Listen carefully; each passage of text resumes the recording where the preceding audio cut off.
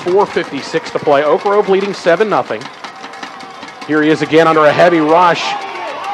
Fires. He's hit as he fires downfield. and The ball is oh. caught by the Warriors. First down yardage on that far Wow. sideline. Where did that come That was an unbelievable pitch and catch, and Johnathan McNair doing a great job of hauling that one in inside the 40 yard line all the way down to the Panther 32.